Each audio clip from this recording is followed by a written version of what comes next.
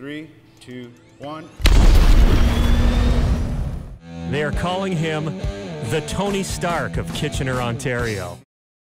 All right, I know you guys wanted to see me fly like Iron Man for a long time now, and so have I, but what you need to understand is this is going to be a very expensive and time-consuming project.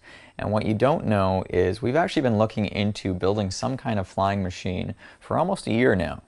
Our original designs included building a giant octocopter, and while this would have been technically easier to do, it would be less safe and about 3 meters in diameter, which makes it completely not like flying like Iron Man whatsoever.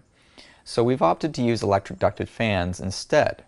Now the problem is propeller efficiency goes up with size. So if you have a giant prop, you can produce a lot of thrust. Electric ducted fans are very small, so you lose a lot of potential power from that. But an electric ducted fan is more efficient than an equivalent size propeller.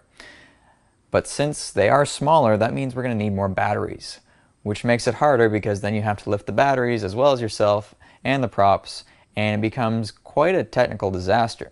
Technical problems aside, let's try and explain the plan of what we're going to do. Now, like we said before, the biggest thing holding back any kind of flight project is the finances to actually build it. This could cost up to $50,000, which is money we just don't have. So the plan is to start small and basically create proof of concepts of each individual flying system. And that way, we might be able to attract more sponsors to get the funding we need to be able to buy all the components we need to build this full project. And if you guys want to help support the project too, we also have a Patreon page. There's a link in the description so you can help fund this project. So, what are we going to do? We're going to start by building wrist-mounted EDFs. These will be the control and stabilization flight system part of the Ironman flight suit. In fact, we've already 3D printed them.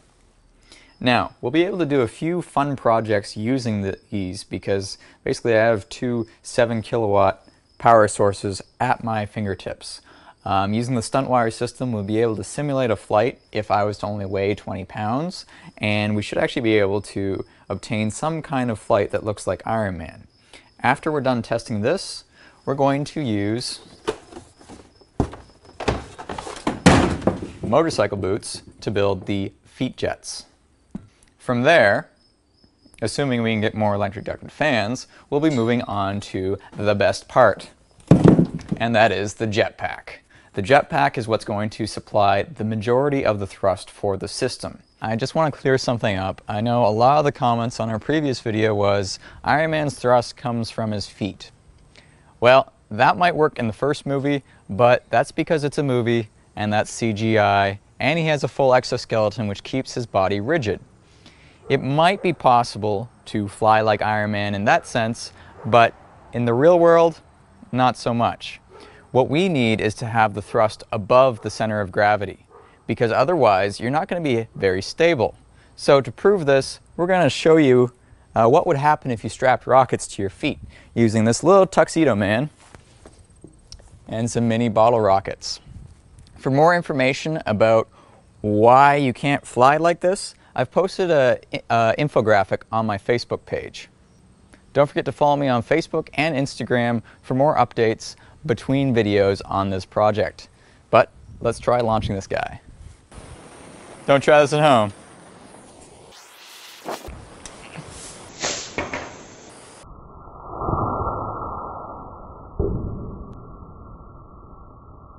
Fatality. Anyways, to sum it up, if you have all the thrust at your feet, it's like trying to balance a pencil. If you try and push up, you're just going to start flipping and die in a big ball of fire.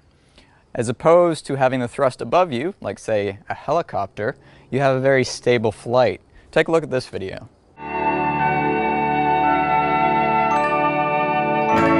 So with that in mind, you have to kind of imagine that the flight system we're looking to build is kind of be more like uh, Ins Inspector Gadget Go-Go helicopter. Did I say that? Go-Go Gadget? So you have to imagine what we're trying to build is more like a go-go gadget helicopter. Go-go gadget copter! But we're gonna make it a bit more compact, have the jets located basically off the shoulders, plus the hands and the feet. So while ducted fans are more efficient than equivalent size props, because they're so small, that means you need to put a lot more power into them.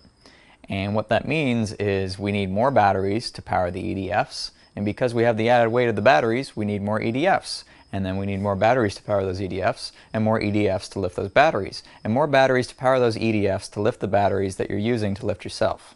We'd need about 20 EDFs to fly with a reasonable amount of extra thrust to make sure we don't crash and die.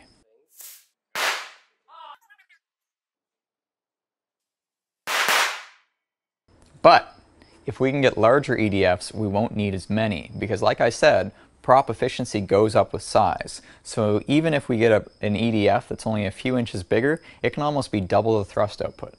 So as I've mentioned before, we've designed and 3D printed the first prototype of our arm-mounted stabilizer system for the Ironman flight project. Now we've revised the design a little bit and we're in the process of 3D printing two more. And once we have two of these guys made, we're going to be able to do the first test using the stunt wire system. But before then, we had some fun with this.